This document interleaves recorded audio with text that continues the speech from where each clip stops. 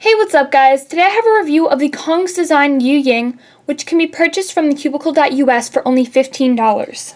This puzzle is the first puzzle from Cong's Design, which is a new brand that is kind of centered around Moyu. It is a follow-up from the Li Ying slash Huan Ying, so it kind of has it keeps the smooth but crunchy feeling that both of those have. However, first off, looking at these stickers, they're very nice shades.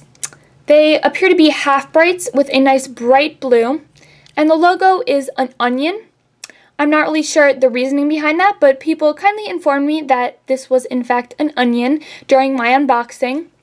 So as I said, this cube is a follow-up of the Li Ying slash Huan Ying, and it maintains that sort of smooth but crispy feel that those cubes have. When I first tried out this cube, I wasn't really a fan of the feeling. However, it kind of grew on me because it was such a smooth puzzle and it's quite fast, which is something that I enjoy. The corner cutting on this puzzle is around 45. It can't really go more than that without me thinking that's going to like pop on me. And then the reverse is over half a piece, which is pretty good. One issue that I've had with this puzzle is that it does pop on me, which is originally why I stopped using it. It could be that my tensions are quite loose, or it could be simply that the mechanism allows for easy popping. Even though it has these pieces here, it still easily can be popped out, as you can see right here. It detaches from there, making it easy to pop out.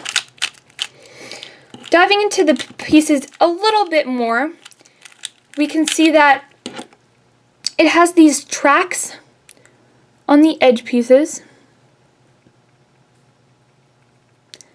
as well as these wings that I pointed out earlier. And the corner piece is nothing real special, although it does have these hollowed out areas which surprisingly haven't really caused too many locking issues for me. As I just alluded to, there really hasn't been many locking issues. The cube turns very fluidly for me and really hasn't had many issues other than the fact that it pops.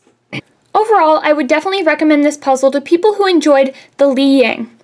I currently use the Li Ying as my main and I find this cube to be very enjoyable to solve.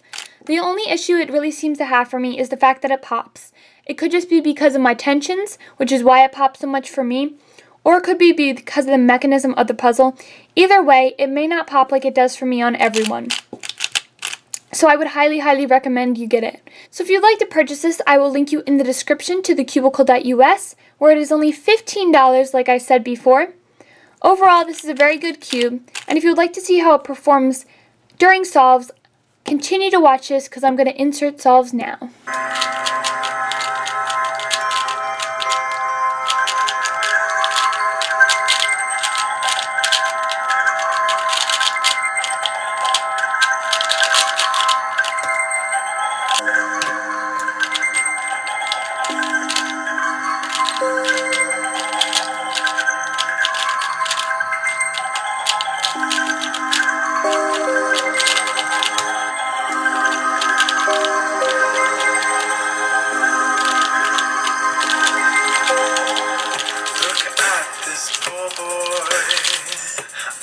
Dressed up in white, birds smile.